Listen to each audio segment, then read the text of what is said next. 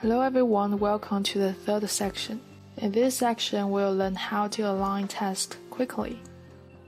Using the spacebar to align the text, not only the operation is tedious, but also the alignment is often uneven. What is a convenient way to align text in a document? In fact, the real alignment tool in a document is not a space, but the ruler. First, open the ruler in the view, and the tab can be seen in the upper left corner.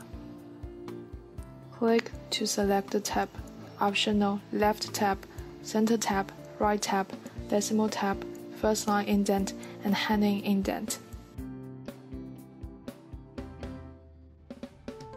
Select all the documents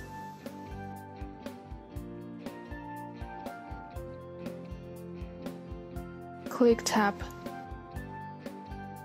The alignment is the same as the tab stop type you selected.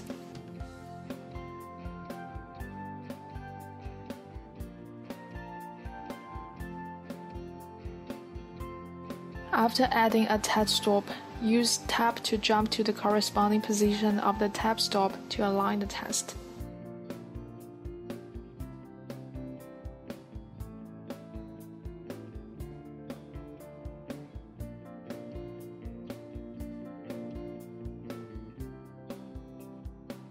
Click Home tab to open the tab setting box.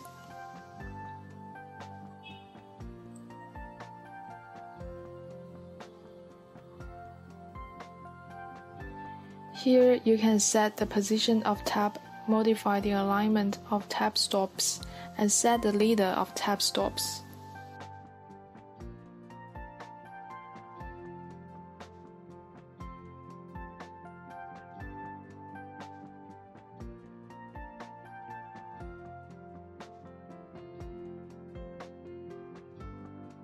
To clear the tab, click Clear in the dialog box.